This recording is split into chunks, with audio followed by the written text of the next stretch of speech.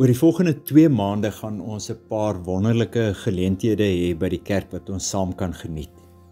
Aan die einde Oktober het ons ons Crazy Daisy dag. Dan sit daar lekker warm, die plantjies is lus om te groei en ons gaan die plantjies wat ons gekweek het aan mekaar verkoop. Berei so lank nou al voor en bring die plantjies na die kerk toe sodat ons dit al kan gereed kry. Tweede ding wat daarmee saamgaan is die wit olifanttafel. Kyk maar op die skyfie wat alles benut kan word. As jy iets wil weggooi, bring dit kerk toe en ons verkoop dit daar. Die gelde gebruik ons dan om die kerk se fondse aan te vul. Die laaste een wat ek wil noem is 26 September. Hou daardie datum gereed. Dan gaan ons potjie kos maak by die huise. Ons gaan dan dit inskep en die gemeentelede kom haal maar net die potjiekos daar by die kerkgebou. Reeds verpak met jou bestelling gereed. Baie belangrik, ons het natuurlik mense nodig om kos te maak. So laat weet so lank al vir Nicola by die kerkkantoor watter pot jy gaan maak en vir hoeveel mense gaan jy 'n pot maak. Hierdie is gewoonlik ook 'n baie lekker kuiergeleentheid. En al gaan ons dit bietjie op 'n afstand doen hierdie jaar, gaan ons dit tog probeer. Kom ons geniet dit saam. Baie dankie.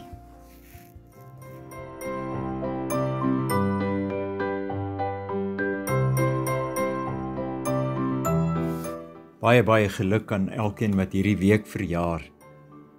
Ek sien dis sommer 'n hele paar en ons is so bly saam met julle. Mag die Here vir julle goed wees in die jaar wat kom. Soos julle hom ervaar het in die jaar wat verby is, sy wonderlike ondersteuning ervaar het, mag julle in die tyd wat voorlê dieselfde van hom ervaar. En mag julle hom as anker beleef ook in hierdie tyd. Geseënde jaar vir julle. Indien jy hierdie boodskap via YouTube kyk, vra ons dat jy by ons kanaal sal aansluit deur te subscribe. Dit gaan jou natuurlik niks kos nie, maar jy sal in die vervolg makliker by ons eredienste kan uitkom. Indien die boodskap vir jou iets beteken vandag, vra ons dat jy asseblief die like knoppie sal druk of om dit met jou vriende te deel. Video's wat op YouTube meer likes kry, word makliker vir ander kykers aanbeveel. Dit sal beteken dat ons gemeente op hierdie manier ook die goeie nuus aan ander kan uitdra.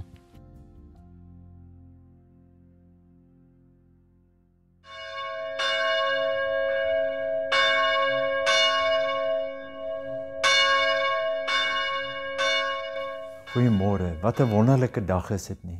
Dit is so wonderlik om hierdie dag ook met die Here te kan deel. Kom ons nader na God toe. Here, ontferm U oor ons. Amen. Hoor hoe die Here sy ontferming gee. Genade, ontferming en vrede aan elke een. Amen.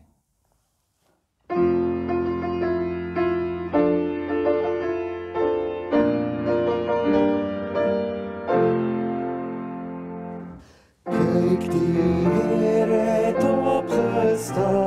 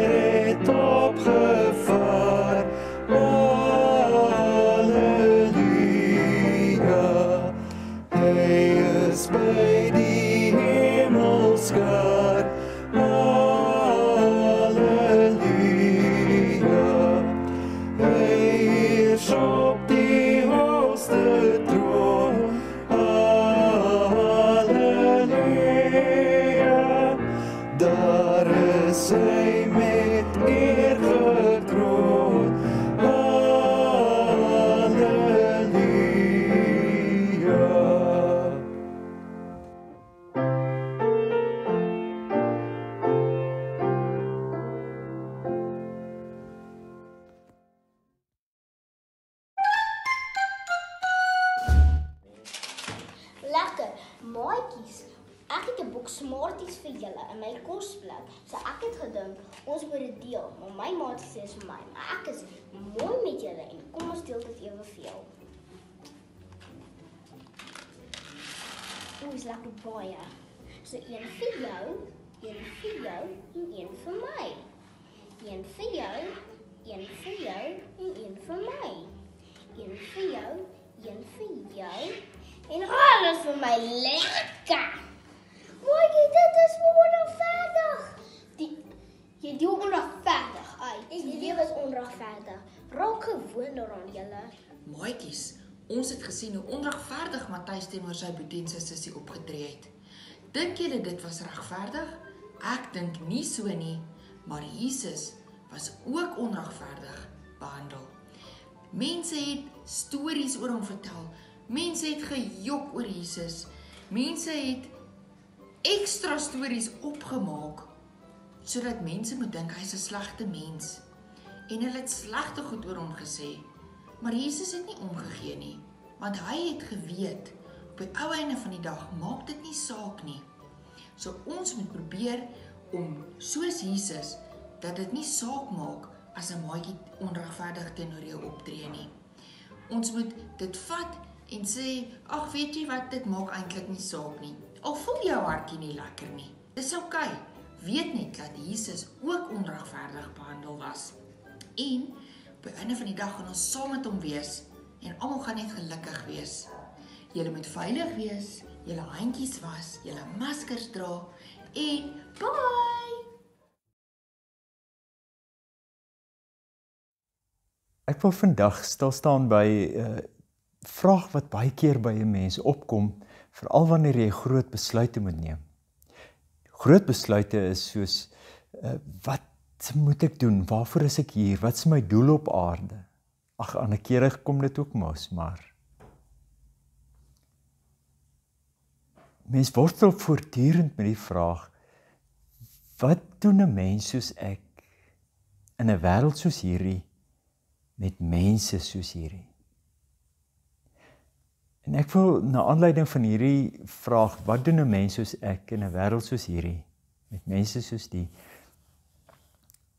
uit Markus 8 vers 34 en 35 maar dan gee Markus vir ons 'n praktiese voorbeeld uit Markus 14 waar twee persone iets van hierdie uh, wat ons lees in Markus 8 prakties uitleef. Kom ons hoor wat sê Markus 8. Jesus het toe die menigte mense saam met sy disippels nader geroep en vir hulle gesê: As iemand agter my aan wil kom, moet hy homself verloën, sy kruis opneem en my volg. Wie sy lewe vir homself wil behou, sal dit verloor. Maar wie sy lewe vir my en die evangelie verloor, sal dit behou. Wat beteken dit? Wat beteken selfverloon? Wat beteken lewe? En om dit vir jouself of vir die evangelie en vir Jesus op te offer. Die eerste ding hierdie lewe lewe se Griekse woord hier so is sugai wat ons ken in psigologie of in psigiater baie met die mens se eie aardigheid te doen en dit wat eie is aan 'n mens. Daai instink wat ons het. Wat bedoel jy verloon dan? Verloon sê dat 'n mens teen jou instink in moet gaan. Om teen jou instink in te moet gaan beteken dat as ons ons instink moet gebruik, sou ons baie meer gemoor het. Ons sou uh mense wat ons bedreig het uit die weg geruim het. Maar nou is ons denkende mense, wesens en hierdie denkende wese laat 'n mens besef jy kan nie dit doen nie. Jy kan nie soos 'n dier ander diere wat jou bedreig net vernietig en uitwis nie. Jy gaan beredeneerd in. Jy lê iets af van jou instink. Jy verander dit. En nou sê Jesus, as ons hom wil volg, moet ons eerste ding ons kruis opneem. Ons self verloon. Dit beteken dat ons nie onsself meer ag as ander mense nie, want 'n kruis was 'n skande ding. Dat ons nie sal huiwer om die skande pad te loop nie. En dat ons hierdie instink wat ons het sal oorwin omdat ons die Here ken. As hy dus sê dat ons ons lewe verloor ter wille van die evangelie, en weet ons die inhoud van die evangelie is dat die koninkryk van God gekom het en dat Jesus die bewys is, die koning van daai koninkryk en hy's hier in ons midde nou wel deur die Heilige Gees destyds dan in Jesus as persoon self. As ons dan ons lewe verloor, beteken dat ons ons instink verloor dat ons uitgelewer is. Maar dat ons 'n uh, uh, lewe wen, 'n nuwe instink kry en daai nuwe instink is dat ons in Jesus is. Dat ons in God se koninkryk is. Hoe dit nou prakties word, sien ons baie mooi in Markus 14. Ek gaan dit ook lees van vers 53 af. Hulle het Jesus weggelei na die hoofpriester toe. Die priesterhoofde en die familiehoofde en die skrifgeleerdes het almal daar saamgekom. Petrus het op 'n afstand agter hom aangegaan tot binne in die binnehof van die hoofpriester se woning. Daar het hy hom saam met die wagte by die vuur gesit en warm maak. Die priesterhoofde en die hele Joodse raad het probeer om 'n aanklag teen Jesus te kry om hom dood te maak maar hulle het niks gekry nie. Baie mense het valse getuienis teen hom afgelê, maar die getuienis het nie ooreengestem nie. Sommige van hulle het na vore gekom en vals getuienis teen hom afgelê deur te sê: "Ons het hom hoor sê: Ek sal hierdie tempel wat deur mense gemaak is, vernietig en binne 3 dae 'n ander een bou wat nie deur mense gemaak is nie." Maar ook hieroor het hulle getuienis nie ooreengestem nie. Toe die hoofpriester in die raad opgestaan en Jesus begin ondervra. "Verweer jy jou glad nie?" het hy gesê. "Wat van die getuienis wat hierdie mense teen jou inbring?" Maar Jesus het niks gesê nie en hom glad nie verweer nie. Die hoofpriester het hom verder ondervra. "Is jy die Christus, die seun van hom aan wie die lof toe kom?" het hy gevra. "Ek is," het Jesus geantwoord en julle sal die seun van die mens sien waar hy sit aan die regterhand van hom wat magtig is en wanneer hy kom op die wolke van die hemel.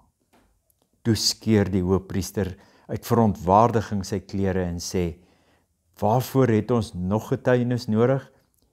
Julle het die godslastering gehoor. Hoe lyk dit vir julle? Hulle het hom eenparig veroordeel.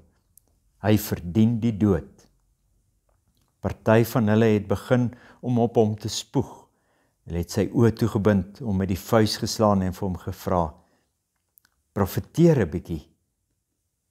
Ook die wagte het hom geklap toe hulle hom wegvat. Terwyl Petrus onder die binnehof binne in die binnehof was, kom een van die hoofpriester se diensmeisies daaraan.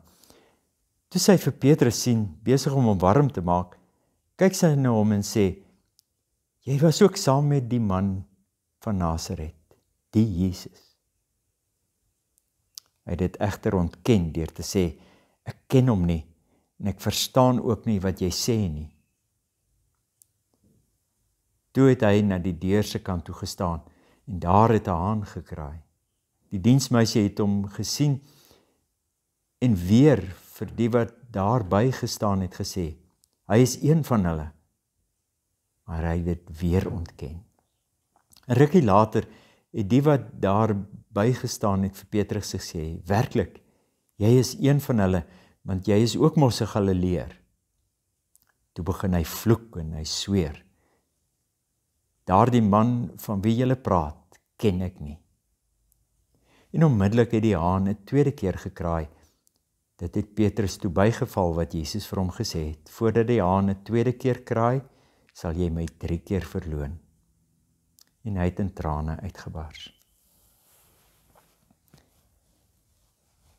Jesus is 'n praktiese voorbeeld van iemand wat sy lewe aflê, maar dan 'n lewe wen. Iemand wat homself verloon, sy kruis opneem en vorentoe gaan. Jesus loop voor wanneer hy sê verloon, kruis opneem. Wat gebeur hier? As ons kyk na God se instink, wie is God? Hy's die almagtige, hy's die een aan wie alle lof toe kom. Hy's die een aan wie alle eer vir verskuldig is. Ons sien dit hoe hulle dit aanhaal uit die Psalm uit Psalm 110, Daniël 7. En God aan wie alle eer toe kom, lê sy eie eer af.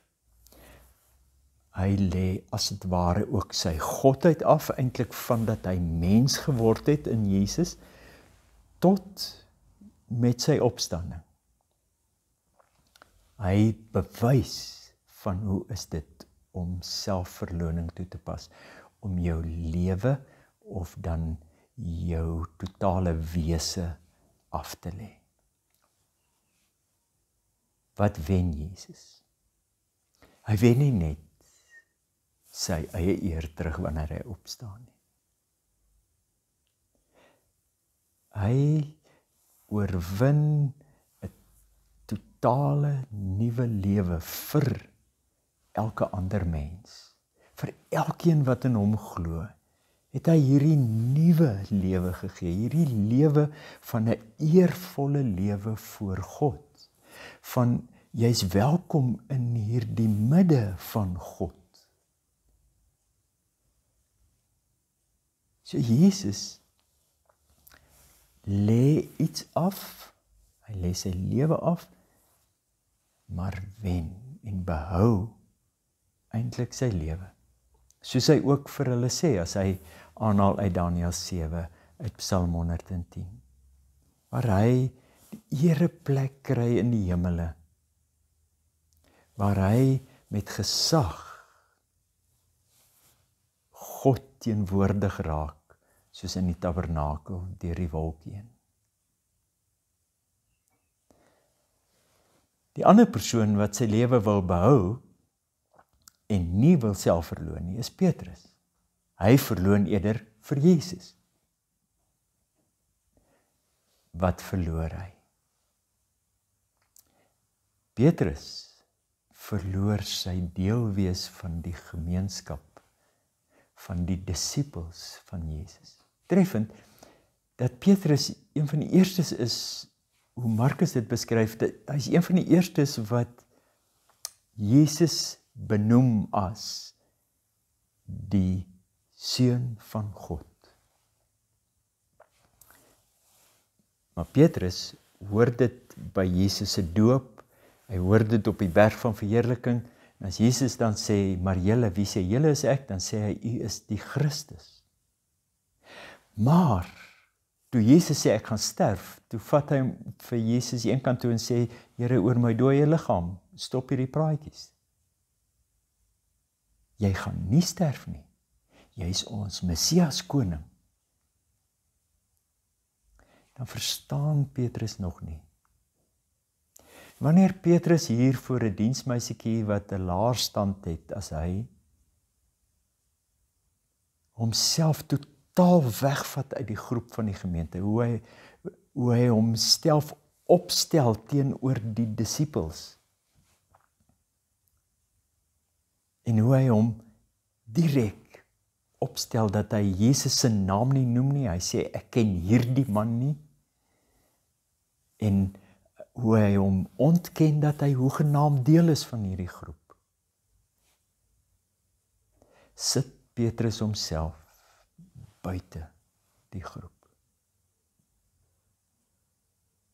Dit terwyl Jesus besig is om vir Petrus 'n nuwe lewe te wen.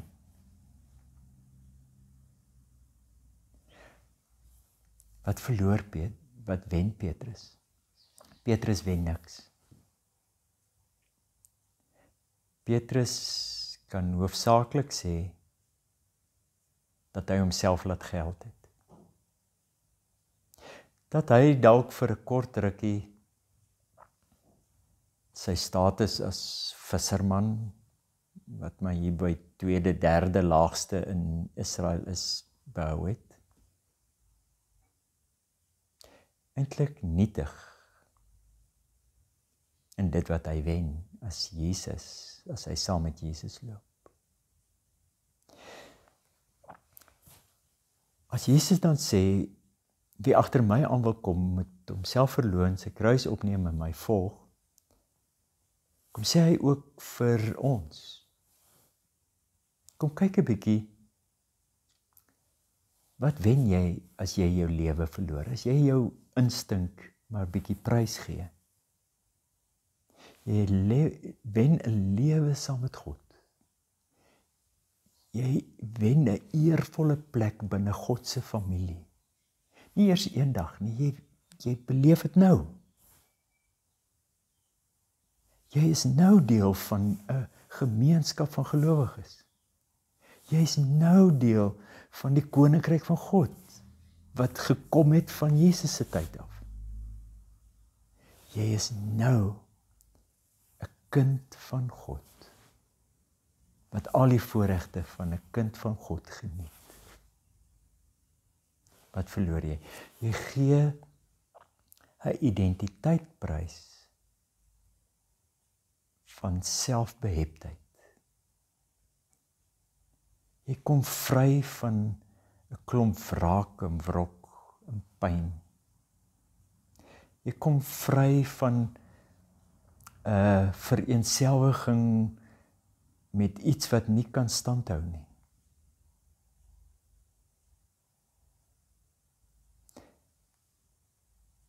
Maar mens wen 'n identiteit van kind van God wees.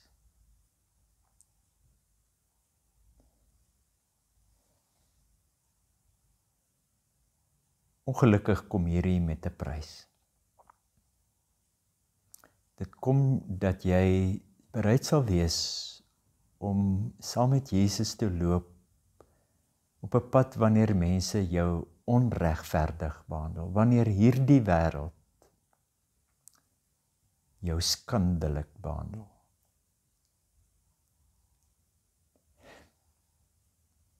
Wanneer jy as 'n mens soos jy is, 'n nuwe mens in Christus in 'n wêreld soos hierdie leef, dan kan jy maar verwag dat 'n wêreld soos hierdie jou onregverdig gaan behandel. Dat 'n lewe soos hierdie jou gaan byt op plekke en en op tye wanneer jy dit nie eintlik kan hanteer nie.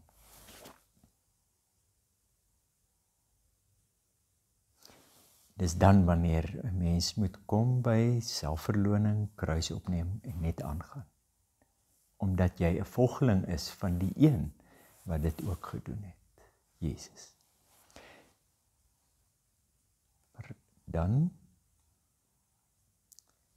kry jy hierdie oorwinning. Hierdie lewe van niks sal my onderkry nie, want ek behoort aan God. Ek is 'n kind van die Almagtige, die een aan wie alle eer toe kom. So ek kan maar my eer bietjie prys gee. Ek kan maar my selfgeregtigheid kan ek oorkom wanneer mense my onregverdig of skandelik behandel. En mag ons iets van hierdie oorwinning elke dag beleef. Mag ons ook die oorwinning beleef ten spyte van hoe die lewe met 'n mens werk. Ten spyte van wat ander mense aan jou doen. Omdat 'n mens weet aan wie jy behoort vir wie jy volg. Mag ons iets van daardie vreugde geniet. Kom ons bid. Word stil.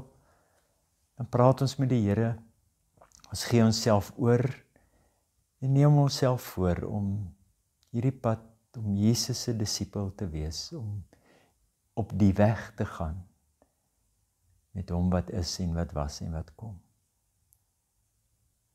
Kom ons word stil.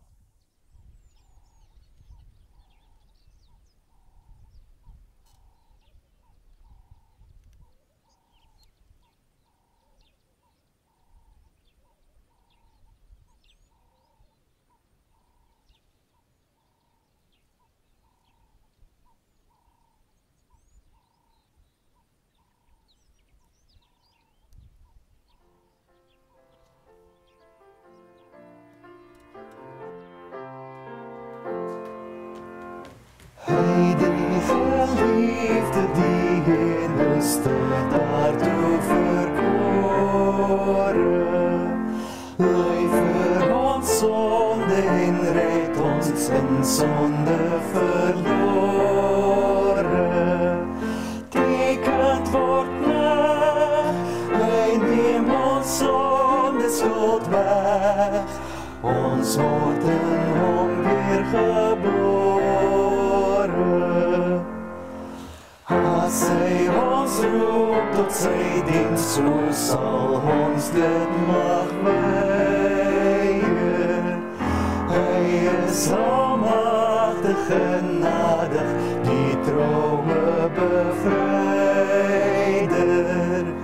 Christus gee kracht, kleer ons met konings gesag.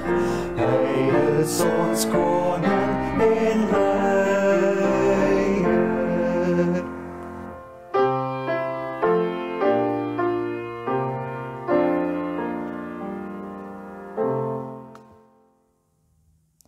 gaan hiervan af weg met die wete dat die Here groot is. En ons gaan weg omdat ons weet aan wie ons behoort. Die genade van ons Here Jesus die Christus, die liefde van God ons Vader en die teenwoordigheid van die Heilige Gees is met ons. Amen. Ons is dankbaar dat u volhou om 'n bydrae te maak. Hierdie bydraes help dat ons as gemeente ons verpligtinge kan nakom, dat ons gemeentelede in nood kan bystaan en dat ons aksies soos Huis 5 by Jacaranda Kinderhuis kan ondersteun. Baie dankie vir die volgehoue bydraes.